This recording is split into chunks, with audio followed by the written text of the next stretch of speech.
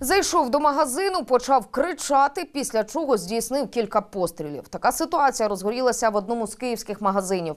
Подія трапилася на вулиці Малиновського в Оболонському районі. Про стрілянину правоохоронцям повідомили місцеві мешканці, які помітили, що в пивному маркеті покупець раптом поцілив у продавця. На місце події негайно привели слідчо-оперативні групи територіального та головного управлінь поліції, наряд патрульних та кінолог зі службовою собакою.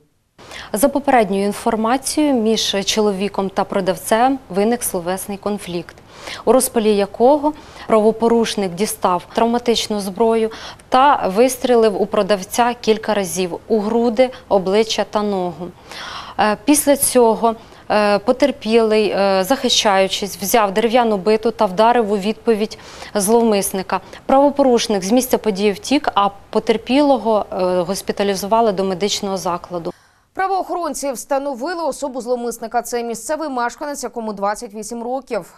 Слідчі оголосили йому про підозру вчинені злочину, а суд обрав міру запобіжного заходу у вигляді тримання під вартою. Санкція статті передбачає до 7 років позбавлення волі.